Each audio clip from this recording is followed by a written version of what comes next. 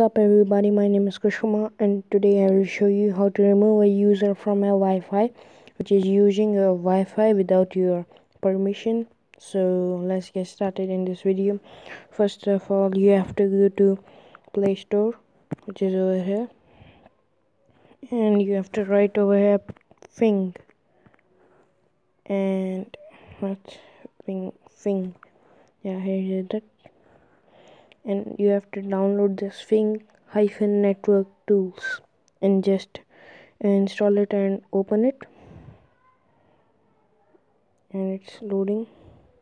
You don't have to do it oh tools and everything.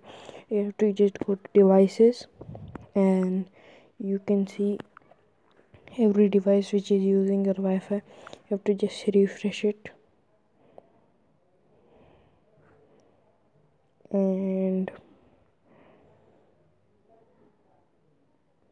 now you can see the d-link is my wi-fi and the three three uh, mobiles are or uh, three devices are using my uh, wi-fi. So i don't know the motorola wi-fi.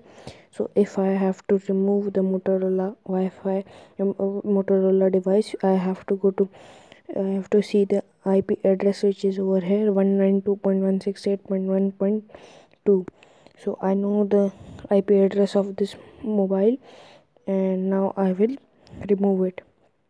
So i will first go to settings and wi-fi and i will just uh, uh, go to manage network settings and after that uh, there will be DHCP then you have to do static and after that you have to just write the IP address which is you have uh, saw so 192.168.1.2 and just save it.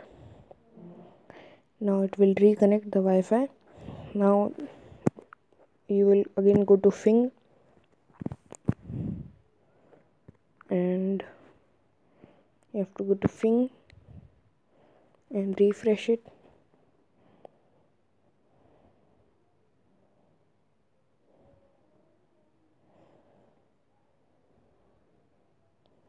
so as you guys can see I have just removed the Wi-Fi of Motorola. As you can see Motorola is not showing and my IP address is this.